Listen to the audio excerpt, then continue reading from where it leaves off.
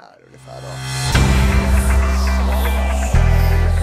Du får göra som du vill, hos dig är underbar. Ruta 1, ja hitsen som den här mannen har gett oss, de är många Patrik. Ja, tur det. Betala hyran, du betalar hyran.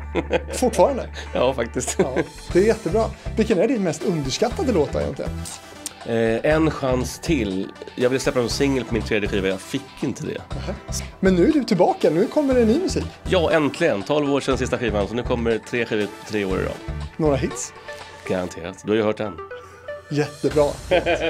Eh, Vi snackar också om hur det är att ha paparazzis i buskarna eh, på sitt eget bröllop. Och om en låt som du verkligen hatar. En stor låt som du har framfört men som du aldrig gör igen. Nej, kommer jag inte. göra. den, den gick inte som jag trodde och så var den skitdålig kände jag när jag släppte den.